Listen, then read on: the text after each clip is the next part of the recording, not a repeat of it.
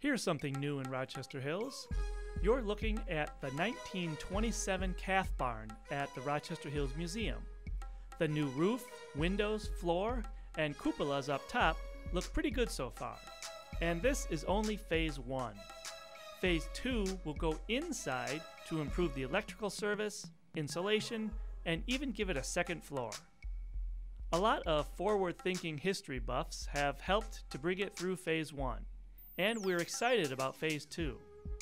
If you'd like to get involved in helping restore this community gem, contact the museum at 656 4663.